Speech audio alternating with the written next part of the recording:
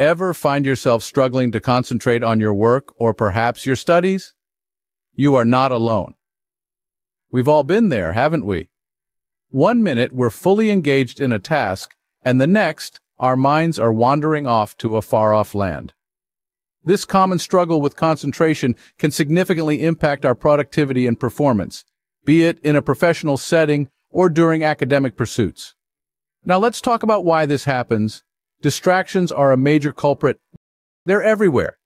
Your phone buzzing with notifications, the chatter of colleagues, or even the thoughts swirling around in your own head. Stress, too, plays a role. It clouds our minds, making it difficult to focus on the task at hand.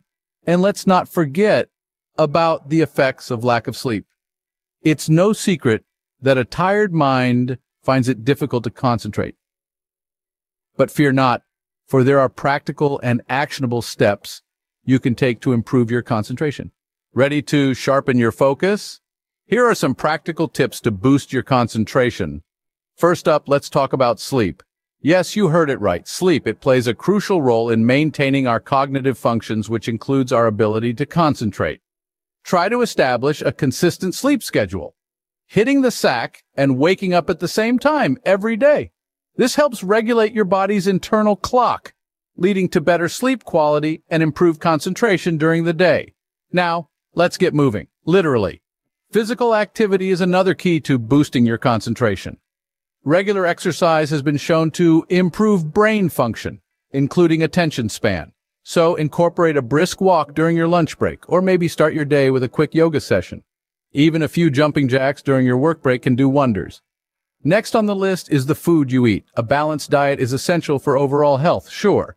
But did you know it also influences your ability to concentrate? Foods rich in omega-3 fatty acids like fish and nuts, as well as those high in antioxidants such as fruits and vegetables, can enhance brain health and improve focus. So next time you're reaching for a snack, opt for a handful of almonds or a piece of fruit instead of that candy bar, and let's not forget mindfulness. This practice helps to train your brain to focus on the present moment, which can significantly improve your concentration.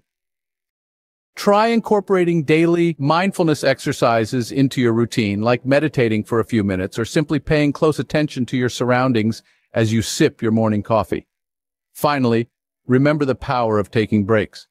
It may seem counterintuitive, but taking short breaks during intense periods of work or study actually helps maintain a consistent level of performance, while working without breaks leads to a steady decline in performance. So don't forget to take a breather every now and then. Remember, improving your concentration is not a one-time task, but a continuous process. Stay patient and you will see progress over time.